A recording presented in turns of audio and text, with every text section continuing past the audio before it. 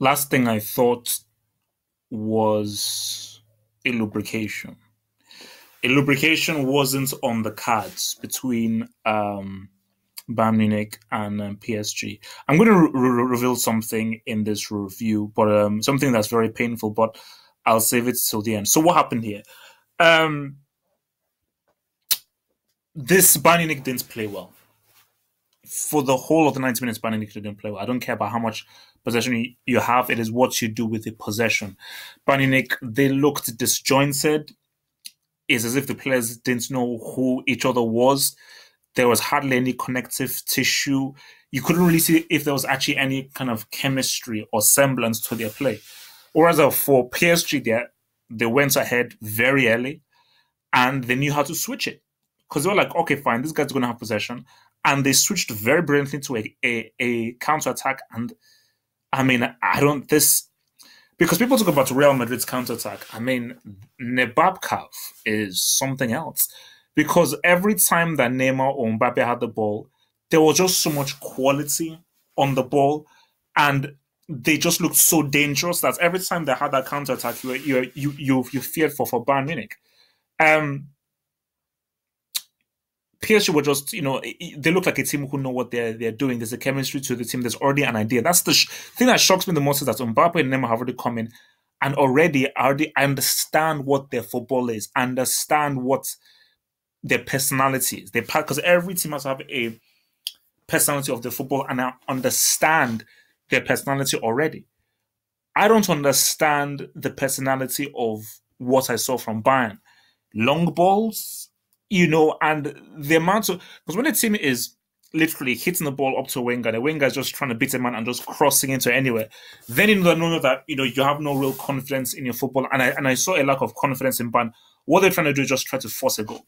They won't really try to creatively walk towards a goal. They're just trying to force it by law of averages. We'll just try and cross it in or hit the long ball as much as possible and hope for a lucky bounce, hope for a PSG mistake and capitalize. Um, so PSG look look good. Neymar is, is outstanding, and for me, I it's it pleases me greatly seeing great footballers play. Just seeing great football being played by great football players is one of the best things in the world. We have to ask this question I've tried to hide it. I've tried to um, deny it. I've come to his defense, but I saw them against um, Wolfsburg, against Anderlecht. Now this, it's too many games in which Bayern just look completely at a loss. I don't know whether it's in the locker room, on the training ground, whether, whether there are things that we don't know about. It's not working. And we have to ask the question. That's it. All we have to do is just ask the, the, the question is Ancelotti's time up, or is this not working with him on Bayern? Because as of right now, it's not working. It really, and I think this all started off from I think it was that that match that they lost to Rostov. I think it was just three three two. Since then, Bayern have never really been the same under Ancelotti, and I think because I'm looking, I mean, Muller was completely useless. You know, um, Lewandowski again, he was playing left wing. That's your striker one of the top strikers in the world and he's playing left wing. But you could just see in the body language a team who are not comfortable with what they're they're doing. Um, they don't really know what they're doing, and the team that just looks like if strangers. They seem like strangers. And going up against a team like PSG who are so hungry for success because you could just see the unmitigated hunger, desperation that PSG have to prove their critics wrong.